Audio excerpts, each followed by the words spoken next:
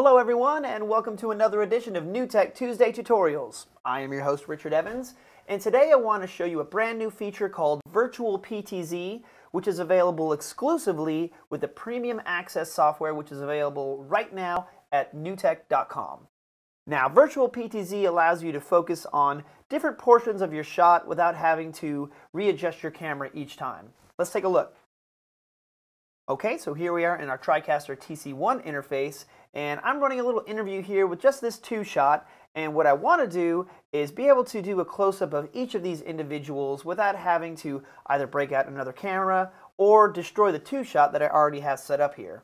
So what we can do is click on the input configuration of input number two, and in this menu, you see you have a drop down here for pan and scan presets, where I have controls for uh, managing my pan, tilt, and zoom, and also speed of which to recall these. So let's go ahead and set up our first close-up shot here. We'll go ahead and zoom into this gentleman here. Whoa, let's back up just a tad.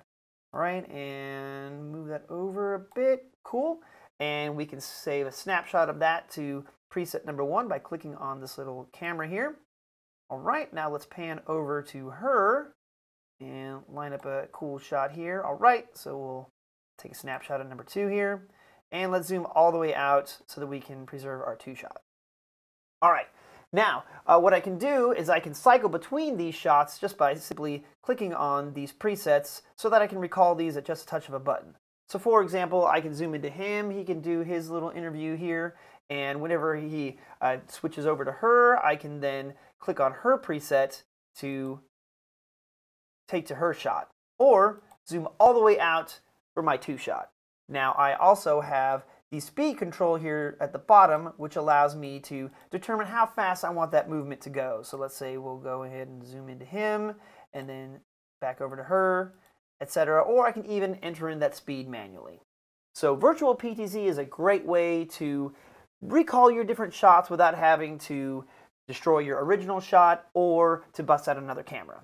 Now, if you like this tutorial but want a little bit more, make sure you go to newtek.com slash demo to sign up for a personalized demonstration with yours truly, and I'll show you all the ins and outs of our TriCaster systems.